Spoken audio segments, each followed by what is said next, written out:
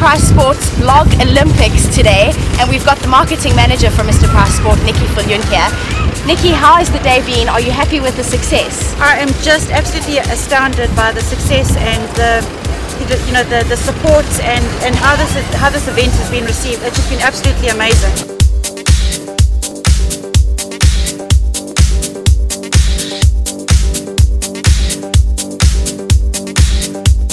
If you look around you, we've got 24 bloggers, 8 events, all underneath the iconic stadium that, that we have behind us for the most of it. I just, I, I can't be more thrilled with the way that the day's panned out.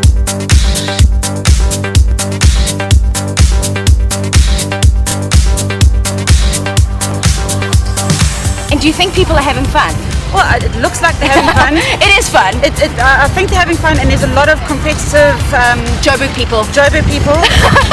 but there's a lot of competitiveness coming out, and it's just great to see everybody getting involved.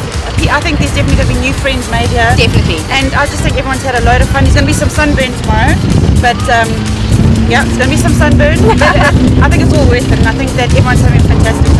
So that is that for the Mr. Price Sport Blog Olympics today.